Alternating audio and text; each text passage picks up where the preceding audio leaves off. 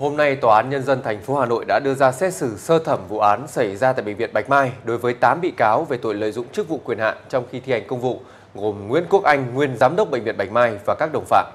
Theo cáo trạng, các bị cáo đã cấu kết nâng khống giá trị hệ thống robot phẫu thuật ROSA từ hơn 7 tỷ đồng lên 39 tỷ đồng.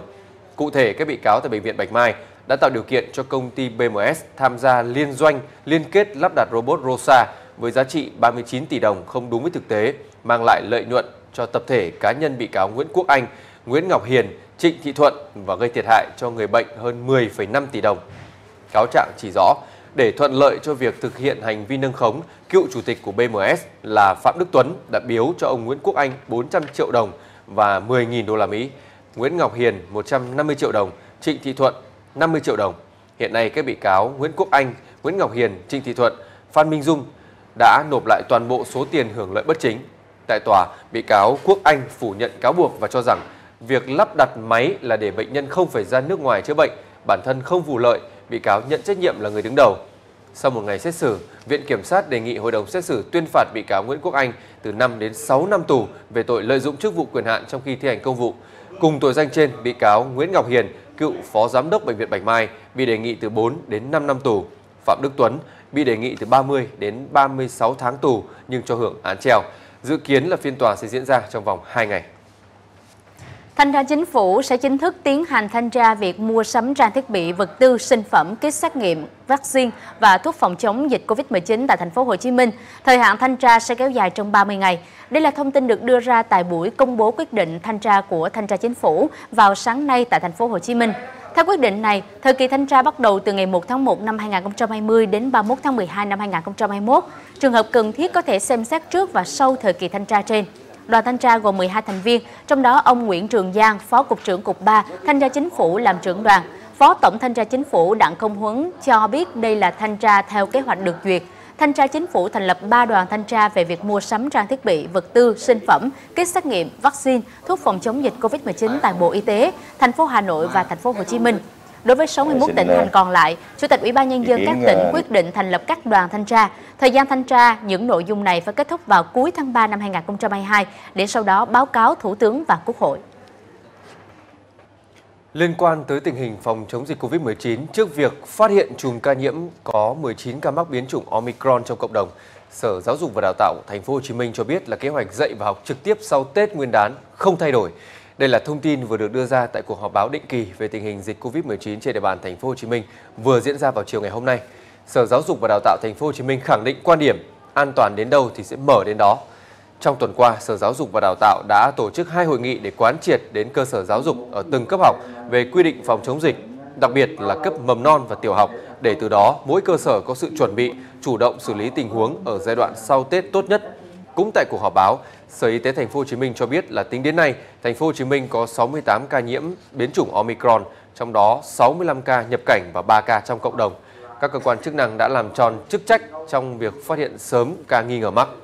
Đại diện Ban chỉ đạo phòng chống dịch và phục hồi kinh tế thành phố Hồ Chí Minh cũng khẳng định trong dịp Tết Nguyên đán, hoạt động phòng chống dịch của thành phố Hồ Chí Minh vẫn được duy trì, tăng cường, đặc biệt là trong dịp lễ hội. Người dân không nên hoang mang lo lắng nhưng cũng không được chủ quan lơ là.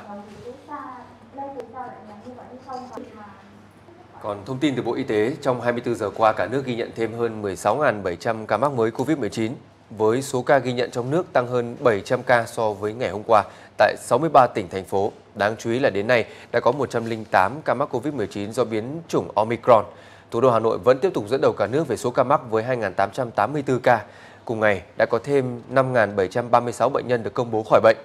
Hôm qua, ngày 19 tháng 1, có thêm hơn 1 triệu liều vaccine phòng COVID-19 đã được tiêm.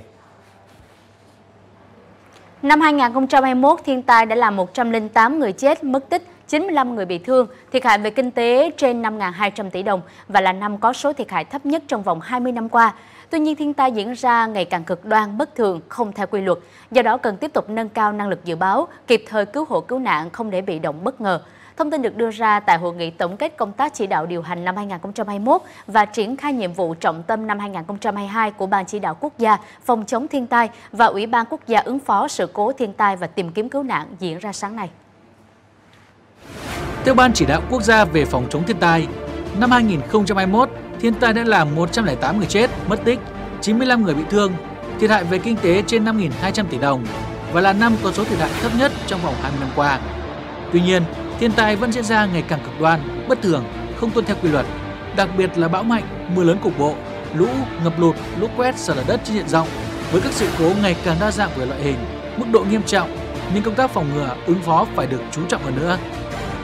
Các số liệu về phòng chống thiên tai, lụt bão đòi hỏi cần phải kịp thời, nhanh chóng, chính xác, cập nhật sớm nên không áp dụng khoa công nghệ thì sẽ không đạt được yêu cầu. Hiện nay đã có bộ cơ sở dữ liệu với trên 30.000 đầu mối theo dõi, nhưng so với nhu cầu thực tiễn còn xa hơn rất nhiều. Từ đó, Văn phòng Thường trực Ban Chỉ đạo Quốc gia về phòng chống thiên tai đề nghị sẽ có đề án chuyển đổi số trong phòng chống thiên tai.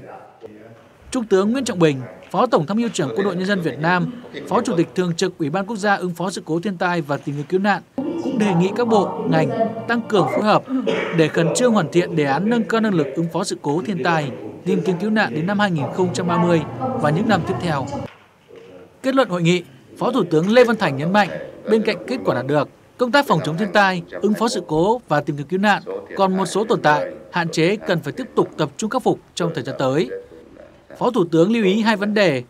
là quy định, quy chế và việc điều hành hồ chứa cần phải giả soát lại, đảm bảo không để xảy ra tình trạng xả lũ mà gây thiệt hại tính mạng của người dân. Ngoài ra, Phó Thủ tướng yêu cầu tiếp tục nâng cao năng lực dự báo, giám sát thiên tai, chỉ đạo xử lý kịp thời các sự cố, vụ việc cần cứu hộ, cứu nạn, không để bị động, bất ngờ. Chúng ta tuyệt đối là không những không chủ quan mà nên liên quan tới tính mạng của nhân dân rồi liên quan tới cái cơ sở vật chất, cái thiệt hại nó lớn như thế. Trên tinh thần là cái phòng chống thiên tai chúng ta tập trung thật là cao, thật cao, để chúng ta triển khai các cái giải pháp cho năm 2022 để phấn đấu. Các ông chí cũng nói là cần phải có cái sự may mắn, nhưng để 2022 này giảm thiểu thấp nhất cái thiệt hại do thiên tai. Năm 2022, các bộ ngành, địa phương tiếp tục xây dựng kịch bản, phương án ứng phó với các tình huống thiên tai, sự cố sát với thực tế, nhất là thiên tai, sự cố lớn trên diện rộng. Đặc biệt là phương án chỉ đạo điều hành, triển khai các đoàn công tác hiện trường cũng như phương án sơ tán dân đảm bảo an toàn phòng chống thiên tai và dịch bệnh. Chiều nay tại buổi họp báo thường kỳ, người phát ngôn Bộ Ngoại giao Việt Nam Lê Thị Thu Hằng đã bác bỏ thông tin của tờ China Daily cho rằng là Việt Nam đang xây dựng lực lượng dân quân tự vệ trên biển có vũ trang, khẳng định đây là thông tin hoàn toàn không đúng với sự thật. Cụ thể, tờ China Daily gần đây đăng tải thông tin cho rằng các thuyền đánh cá Việt Nam có lực lượng dân quân tự vệ có trang bị vũ khí, cho rằng Việt Nam đang xây dựng lực lượng dân quân tự vệ trên biển và điều này có thể gây căng thẳng cho những tranh chấp hiện nay ở Biển Đông, khả năng cao dẫn đến các cuộc chạm trán. Tại cuộc họp báo, bà Lê Thị Thu Hằng một lần nữa nhấn mạnh Việt Nam kiên trì chính sách quốc phòng an ninh hòa bình và tự vệ. Hoạt động của các lực lượng chức năng Việt Nam tuyệt đối tuân theo pháp luật Việt Nam, pháp luật quốc tế, nhất là Công ước Liên Hợp Quốc về luật biển UNCLOS 1982. Việt Nam luôn nỗ lực đóng góp vào duy trì khu vực Biển Đông hòa bình, ổn định, an ninh, an toàn, hợp tác và phát triển phù hợp với luật pháp quốc tế, trong đó có Công ước Liên Hợp Quốc về luật biển 1982. Việt Nam kêu gọi các quốc gia trong và ngoài khu vực cùng đóng góp thiết thực và có trách nhiệm vào mục tiêu này.